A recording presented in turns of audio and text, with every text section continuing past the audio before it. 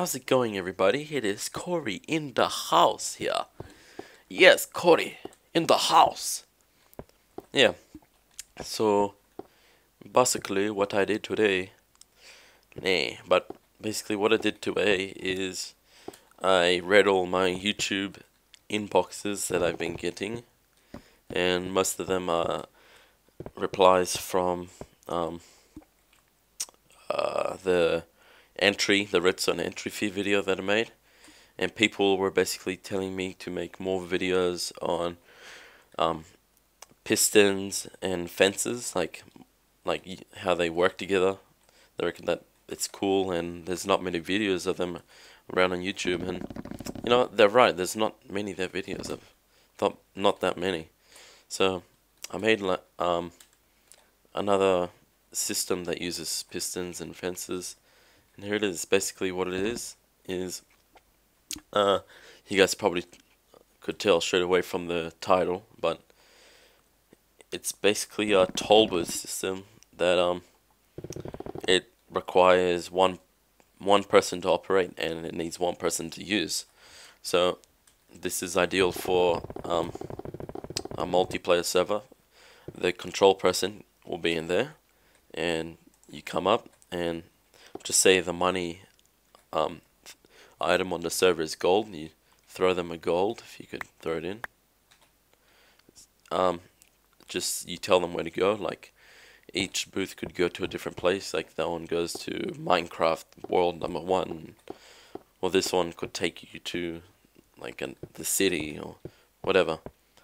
And the person in here would, if I can get in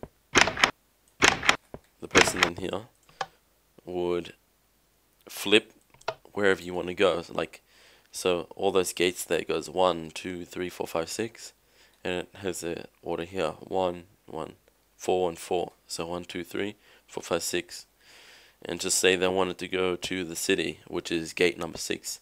You flip gate number six, which is already open. So flip it, and then the person would proceed on to gate number 6 which is this one. And I'll show you now that none of these work. See? 3 number 2 number 1 none of them work. But since you flip number 6 this one works it goes down you walk over and it closes behind you. So yeah that's basically my toll booth system.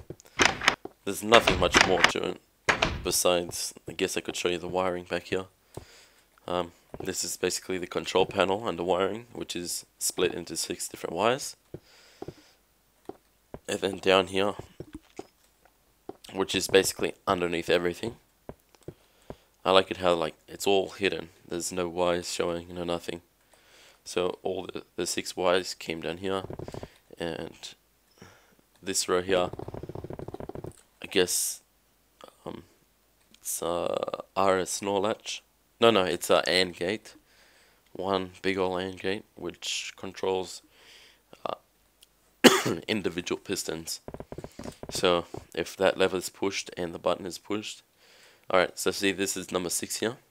See how this one is on and this one's off. So this is off, which turns this one on. And when this turns off, then this one will turn off and the piston will retract, thus letting you pass through. So yeah, it's pretty like it's it's big and but it's like it's just it was just so hard to put together like to space out all the wires and just to get them to get all six of those connected to here was a pain in the ass. Um, excuse me, but yeah, that's basically today. If you guys um want a tutorial on how to make one of these for you could use it for a server or whatever leave a comment down below or message me. Than this, please rate and subscribe. Thank you.